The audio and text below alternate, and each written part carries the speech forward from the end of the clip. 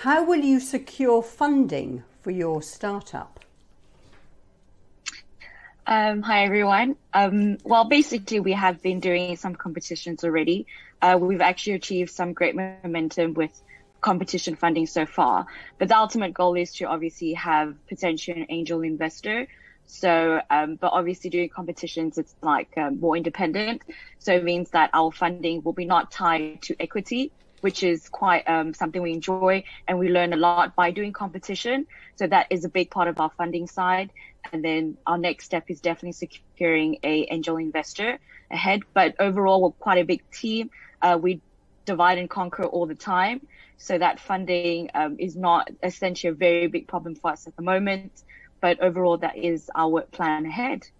Thank you, Shelley. Jakub, let's bring you in here. Anything to add on that? And of course, you're raising profile too, aren't you, by doing the competitions?